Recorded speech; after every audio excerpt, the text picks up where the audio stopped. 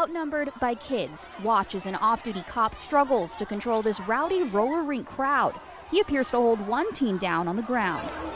Glendale police say a fight possibly involving 200 teens started just before 10 p.m. Saturday. At some point, officers used pepper spray after calling for backup.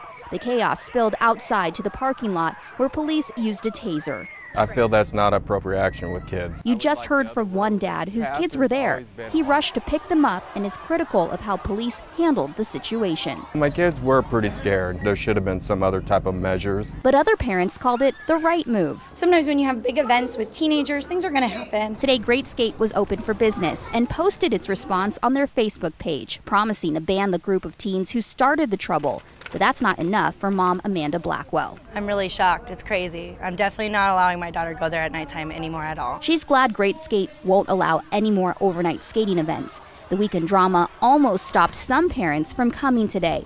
Rebecca Hanrath feels safe but still hopes Great Skate reevaluates its security policies. I had thought, well, I'm not too concerned today, but definitely did cross my mind during the day. And, you know, I, I figure that it's just less kids and we're on spring break and I'll be here to supervise.